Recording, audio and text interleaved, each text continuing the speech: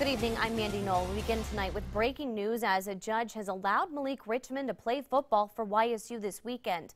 In a response to Ma'lik Richmond's lawsuit, YSU stated no good deed goes unpunished. Dave Sess explains the decision after today's court hearing. It's our top story tonight at 10.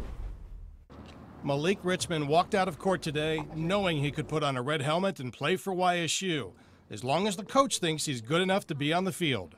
The only comment is that Ma'lik has been working very, very hard, practicing every day, and he's excited about Saturday's game, and we're very pleased with the result. His lawyers won a temporary restraining order allowing him to play.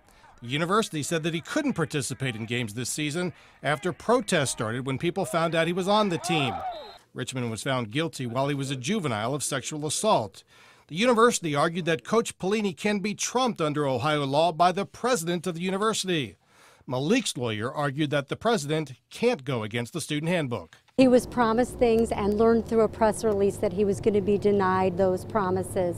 And they did not follow their handbook. They just essentially punished him without any notice, without a hearing, without being able to have an advisor. The university argued that Ma'lik never used a grievance procedure allowed in the handbook and that missing this season would have no effect on his chances to reach the NFL. But for now, the judge gave Richmond two weeks to get on the field and play. Ma'lik? Ma'lik, how's it feel? No. So why why ask now then if you knew they have a bye week next week, you're losing a week of eligibility for this TRO? Um, you know, we filed our papers as soon as we could. In granting the injunctive relief, the judge noted that it was time he could never get back on the field if he eventually wins the lawsuit.